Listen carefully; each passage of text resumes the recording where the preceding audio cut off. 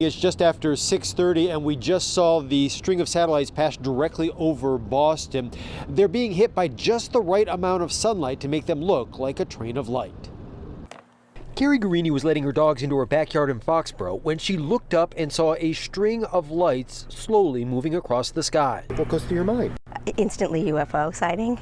I mean, there's nothing else I could think of. I see it. I don't know what it is. What it is, is a string of satellites that Elon Musk's Starlink company started launching back in 2019 to provide internet service.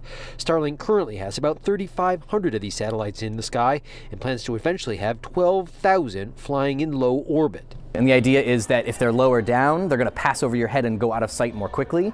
But if you have a whole lot of them, then by the time one goes out of your line of sight, the next one is coming over. Unlike traditional geostationary satellites that orbit about 22,000 miles above the Earth, these new satellite chains are much closer, about 342 miles.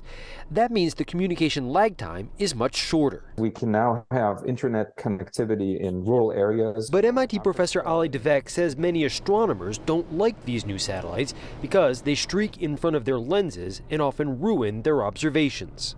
Literally, there is no place left on Earth where there are no signs of, of civilization.